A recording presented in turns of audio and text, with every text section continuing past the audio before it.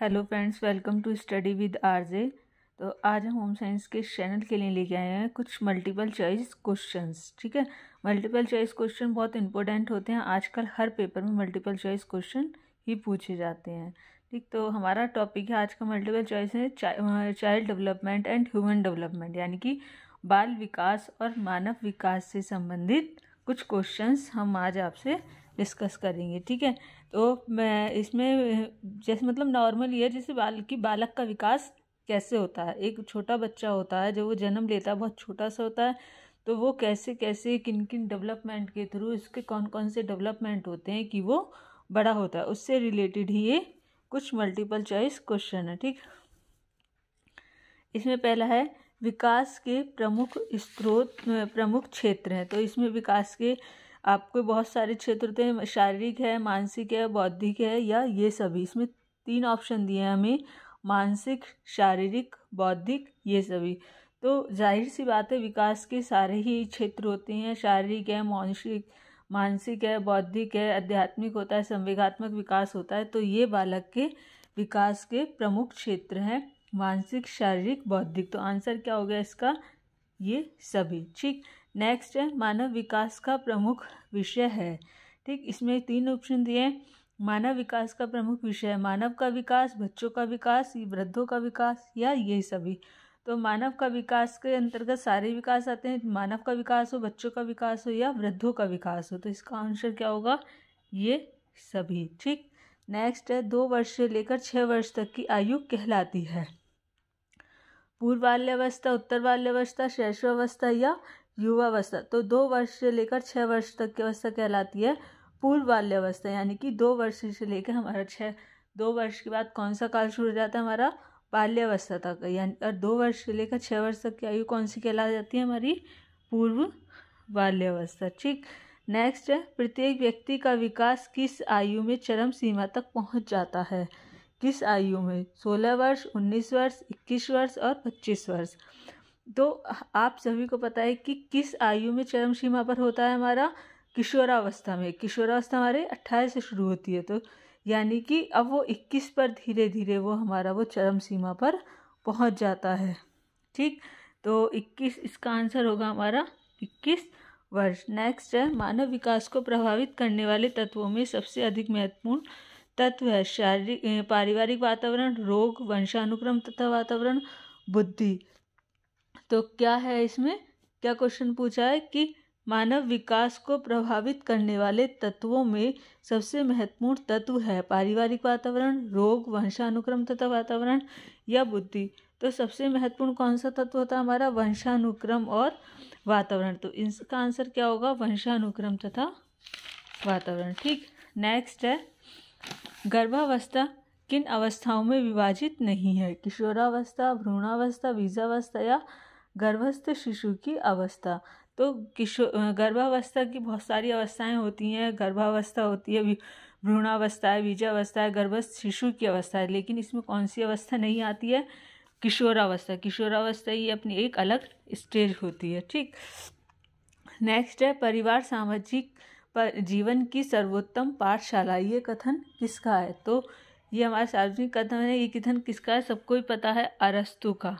ठीक, इसमें हमने चारों ऑप्शन दिया अरस्तु का मैजिनी का, प्लोटो का, लिंकन का। तो परिवार सामाजिक जीवन की सर्वोत्तम पाठशाला ये किसने कहा है हमारे?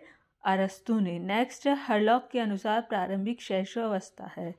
जन्म से दो सप्ताह तक, गर्भधान से दो सप्ताह तक, जन्म से दो वर्ष तक या गर्भधान से दो वर्ष तक। तो हरलॉक के अनुसार प्रारंभिक शैशवावस्था है, जन्म से दो सप्ताह तक। ठीक, कौन सी है? जन्म से दो सप्ताह तक। तो इसका आंसर क्या है?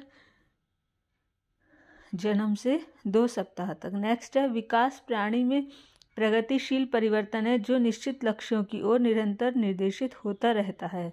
यह कथन है, फ्राय, हरलॉक का, फ्रायड का, ड्रेवेर का, मुनेश का। तो ये कथन है, ड्रेवेर का, ठीक?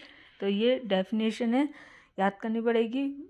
विकास प्राणी में प्रगतिशील परिवर्तन है, जो निश्चित लक्ष्यों की ओर निरंतर निर्देशित होता रहता है। ये किसका कथन है?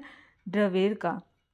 नेक्स्ट है, बच्चों के वंशानुक्रम से संबंधित सामाजिक क्षमताओं के विकास को कहा जाता है।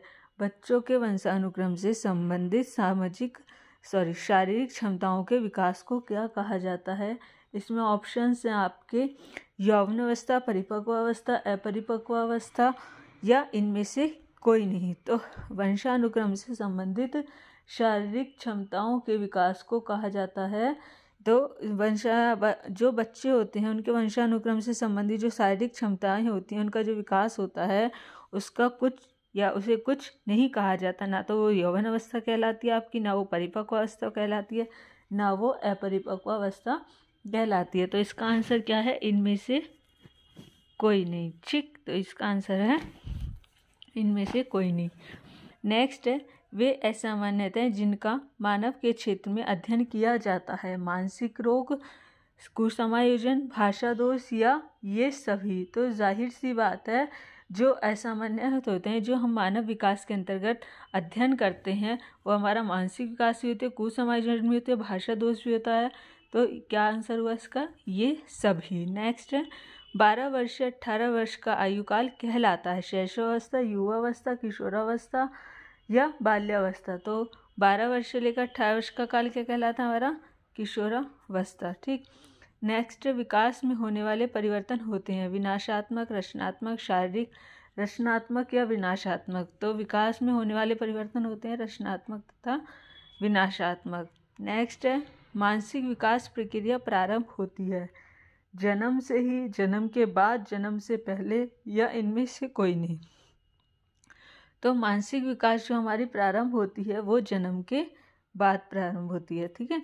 जन्म से प्रारंभ भी नहीं होती, जन्म के पहले भी प्रारंभ नहीं होती, जन्म के बाद। क्योंकि क्या होता है, जब बच्चा पैदा हो जाता है, उसके बाद हम उसकी मानसिक, मेंटली एक्टिविटी है, उस पर ध्यान देते हैं। नेक्स्ट है, बच्चा किस अवस्था में पर्यावरण से प्रभावित होता है? किशोरावस्था पर्यावरण से प्रभावित होने लगता है। किशोरावस्था से, शैशवावस्था से, बाल्यावस्था से या इनमें से कोई नहीं। तो क्या है इसमें कि बच्चा किन अवस्था में पर्यावरण से? तो यानी कि बच्चे के ऊपर बाल्यावस्था से ही पर्यावरण का इफ़ेक्ट पड़ने लग जाता है। ठीक। नेक्स्ट है, सामाजिक विकास की चरम सीमा प्रकट होती है। बाल्यावस्था से, शैशवावस्था से, युवावस्था से या किशोरावस्था से। तो जो सामाजिक विकास की जो चरम सीमा होती है, वो आपकी किशोरावस्था से प्रारंभ होती है, या चरम सीमा जो प्रकट होती है, वो किशोरावस्था में प्रकट होती है। नेक्स्ट है, शैशवावस्था है। सामान्य अवस्था, आत्मनिर्भरता की अवस्था, अनुकरण की अवस्था, या समायोजन की अवस्था। तो शैशवावस्था कैसी अवस्था है? समायोजन की अवस्था। नेक्स्ट है, जन्म के समय शिशु का औसत भार होता है। Three point three fifty K G four point four fifty K G two point two fifty K G five point five hundred K G तो ये बच्चे के डेवलपमेंट के ऊपर होता है, लेकिन नॉर्मली बच्चे का जो औसत बार होना चाहिए, वो three point three fifty K जी होना ही चाहिए। ठीक नेक्स्ट है, सामाजिक विकास को प्रभावित करने वाला कारक नहीं है।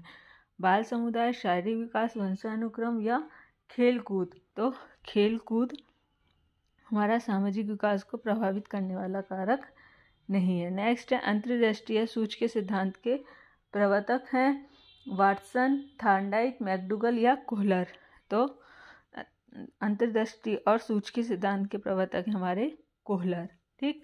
नेक्स्ट है, संबंध प्रत्यावर्तन सिद्धांत के प्रतिपादक थे पेवलॉव तथा वाटसन मैकडुल डुगल तथा हेगार्टी कॉलवर्ग या सियर्स तो क्या है? संबंध प्रत्यावर्तन सिद्धांत के प्रवर्तक हैं पेवलॉव तथा वाटसन तो इसका आंसर क्या होगा? पेवलॉव तथा वाटसन नेक्स्ट है, पुनर्बलन का सिद्धांत दिया है। फ्राइड ने प्याजे ने एरिवेसन एरिक्सन ने या डॉलार्ड या मिलर ने।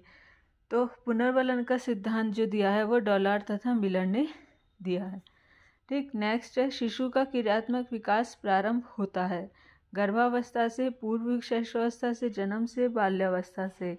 तो जो शिशु का क्रियात्मक विकास जो प्रारंभ होता है, वो आपका गर्भावस्था से प्रारंभ होता है। नेक्स्ट है, किन से बच्चों का भावात्मक तादत में स्थापित हो जाता है? खिलौनों से, पुस्तकों से, बच्चों से या दवाइयों से?